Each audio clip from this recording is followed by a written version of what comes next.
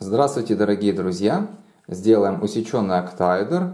Делается с помощью коллекционного журнала «Волшебные грани» номер 18. Приобрести его можно на сайте многогранники.ру. Обратите внимание на клей ПВА, который вы будете, который будете использовать. У меня строительный, он густой. Для удобства я его переливаю в более маленький дозатор, чтобы можно было легче наносить на многогранник. Если будете использовать обычный клей ПВА, то он, скорее всего, усложнит вам работу, так как он более жидкий. Сделаем также с помощью этого журнала усеченный тетраэдр. Вот он наш. Усеченный куб. Кубооктаэдр. Давайте начнем и сделаем усеченный октаэдр. Уровень сложности старт. Историческая справка об архимедовых телах. Подготовка к сборке многогранника. Схема сборки многогранника. Вот у нас первая инструкция. Сборка усеченного тетраэдра. Усеченный куб. Кубооктаэдр. Усеченный октаэдр и показано, как преобразуются тела. Достаем две детали из картона.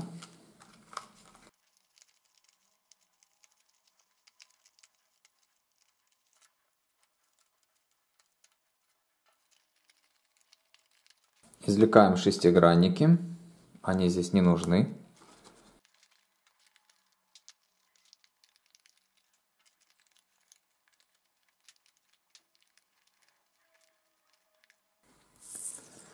Здесь есть у нас такие крепежные детали, которые крепились. Надо пообрезать, чтобы было красивее.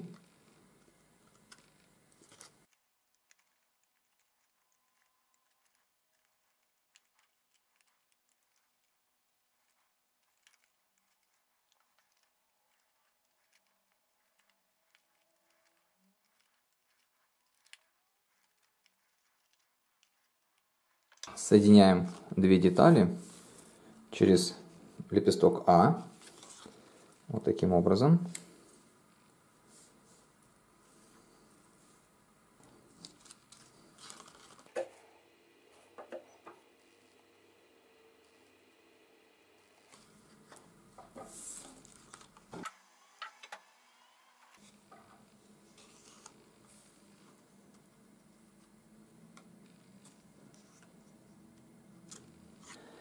Все линии у нас наружные, загибаем.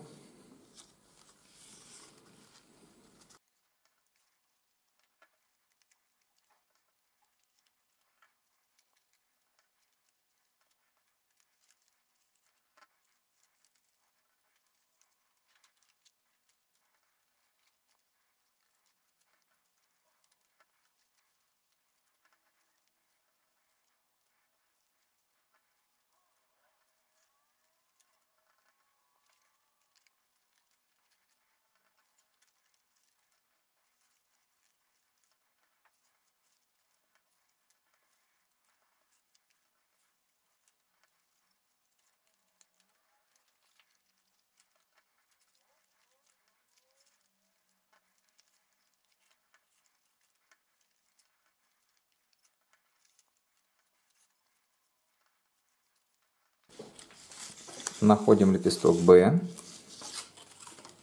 Соединяем нашу развертку. Вот сюда Б приклеиваем. Вот сюда.